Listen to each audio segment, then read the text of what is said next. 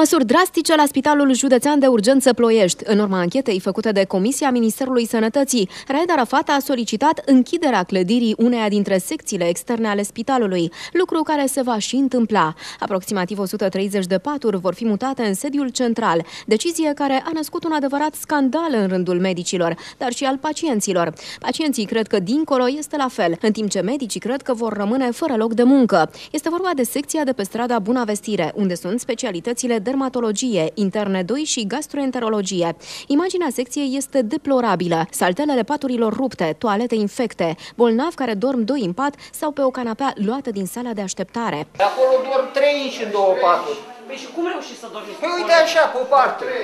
Pe o parte, n-avem ce face. Dacă nu sunt paturi, Unul la jumate, unul la margine și unul putea să aici. Toți trei. Asta e Și situația. noaptea așa mai primiți câte un picior în față? Se mai întâmplă și de astea, sigur. Merge la wc sare unul peste altul. Da, asta la subțioară și pe corp, așa, dăm cu o cârpă cu apă ca să nu vină, când vine doamna doctor la vizite, ca să mirosim, că vorba aceea, vine doctorul, întoarce nasul într-o parte în loc să te consulte cum trebuie. Altfel nu aveți unde să faceți. Altfel nu avem duș, nu avem unde să te duci să faci o baie, ca să zici că faci tu în cursul săptămânii o baie să arăți bine a doua zi. Uitați, fără de sub cartoane.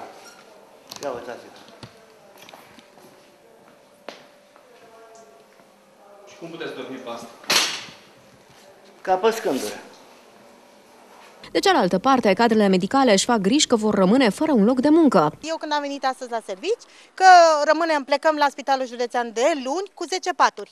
Personalul se, da, se, se, se va distribui pe secția de interne cu 10 paturi. Vreau să știu și eu dacă este normal ceea ce se întâmplă. Cum cu 10 paturi? Când noi avem și 40 de bolnavi și s- sunt atât de mulți de oameni bolnavi, cum e posibil să, ple- să, să mute cu 10 bolnavi?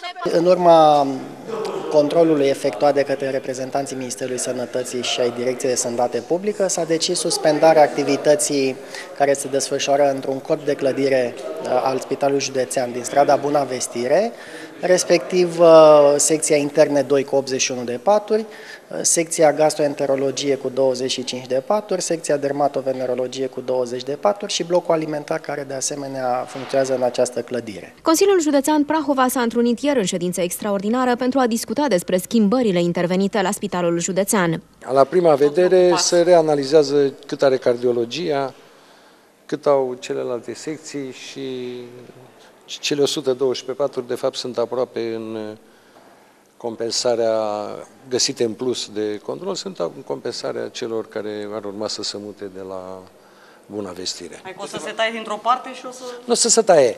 Ne vom încadra în cele 1080 de paturi. Totodată, consilierii au ales o comisie care să analizeze modul în care au fost cheltuiți banii acordați spitalului de Consiliul Județean Prahova.